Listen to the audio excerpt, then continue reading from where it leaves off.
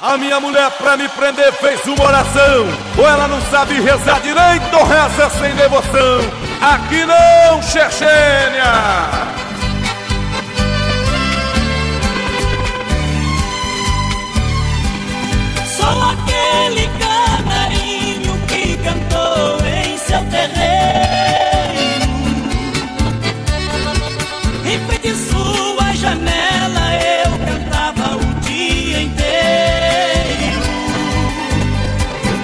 Depois fui pra uma gaiola e me fizeram prisioneiro.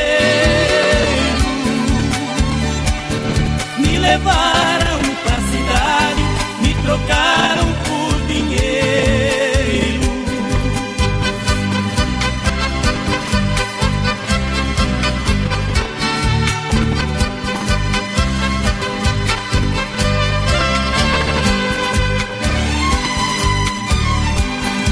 por